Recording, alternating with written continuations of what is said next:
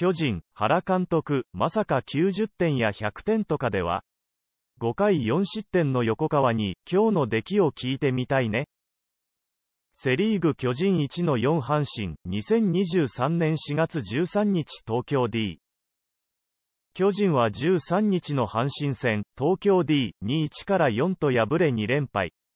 順位は5位のままだが、最下位、中日にゲーム差なしに。原辰徳監督、64は5回4失点で2敗目を喫した先発の横川外投手、22について、今日は本来の自分の出来から行くと、どうだったかな、と話した。先発の横川は2本のソロ本塁打を浴びるなど5回4失点。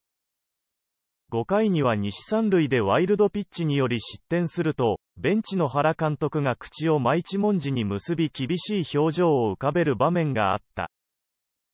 試合後、原監督は2敗目を喫した横川について、今日は本来の自分の出来から行くと、どうだったかなそれは本人に聞いてみたいね。まさか90点とか100点とかは言わないような気がするけど。とコメントした。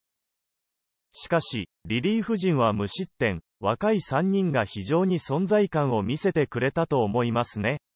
いいピッチングしましたね、と直江、田中地、白キラの高騰を称賛。特にプロ初登板となったドラフト3位ルーキーの田中戦については、いいと思いますよ。まあ、相当緊張していたようですけどね、今日の登板というのは忘れられないスタートになると思いますよ。これから修羅場をたくさんバツむピッチャーだと思います、と評価。田中地オープン戦で東京ドームを経験させていただいたことで落ち着いてマウンドに上がることができました。これからチームに貢献していけるように頑張っていきます。以下は、ネチズンのコメントをまとめたものです。これは間違ってる。横川にも反省すべき点があるし、今日の出来は本人も満足してないはず。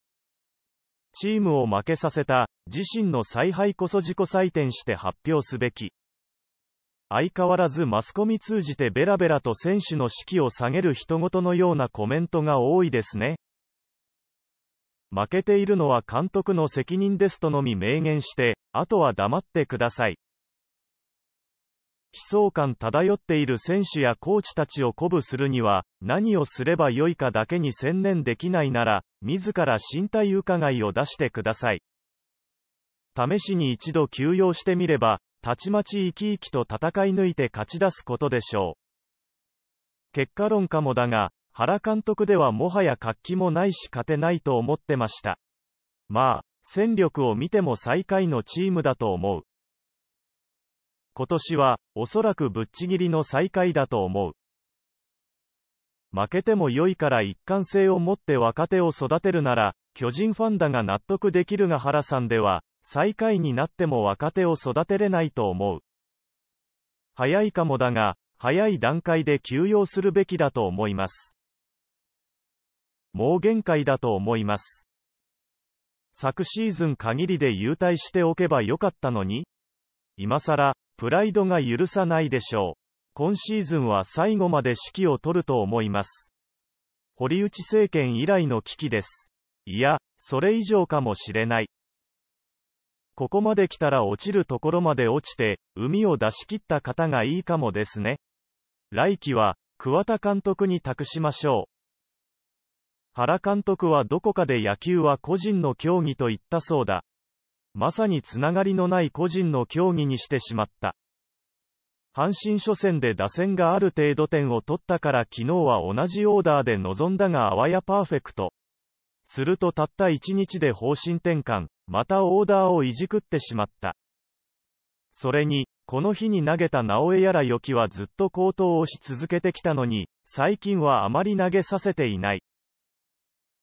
なぜ調子の悪い高梨ばかり連投させて、あの8回を高梨ではなく直江とかよきで試そうとしなかったのかある談話でみんなが8回を意識させるから高梨が本来の力を発揮できないんだというようなことを言っていた。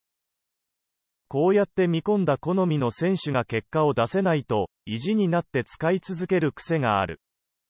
一軍は若い選手の育成の場ではないとも言っていたが、同じ意味で調子の上がらない下降戦の選手の調整の場でもないと言い返してやりたい。